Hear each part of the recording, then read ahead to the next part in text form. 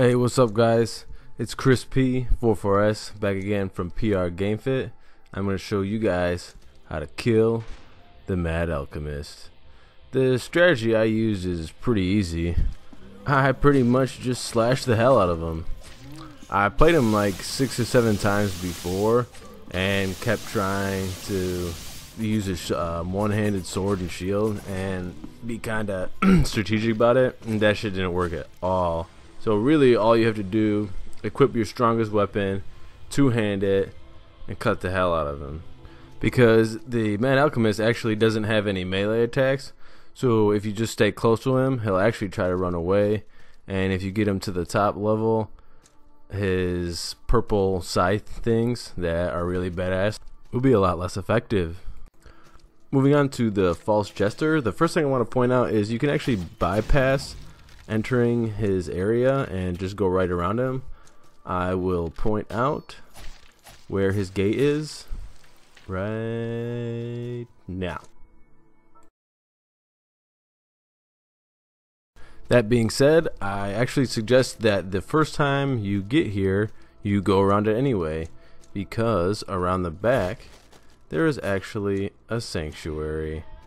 So, if you're going to fight him, instead of going all the way from the sanctuary before this, fighting those hellhounds and archers and losing health and potentially using a potion, you can walk around, crank that gate, and hit the sanctuary here.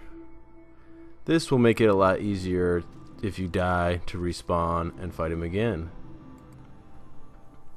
And you guys also might be wondering about these black obelisks that you've seen earlier in the game and have no idea how to use them. But first, we are going to go fight the false jester.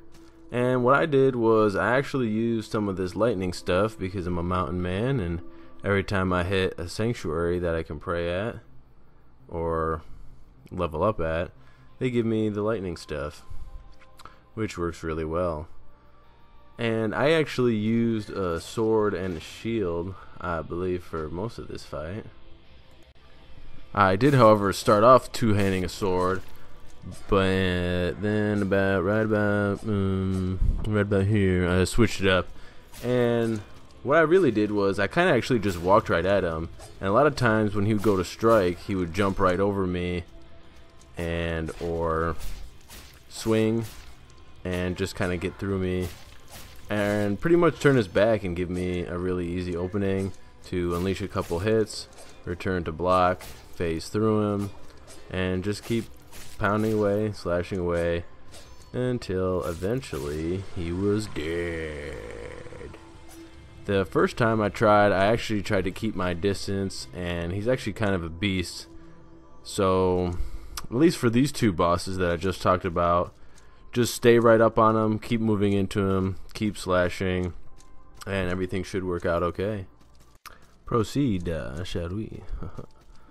um, the black obelisks. So what you're gonna do after you fight the false jester is you're going to run up those stairs, and through this gate is the real jester. He's gonna ask you some weird questions, and whenever it prompts you, just say yes.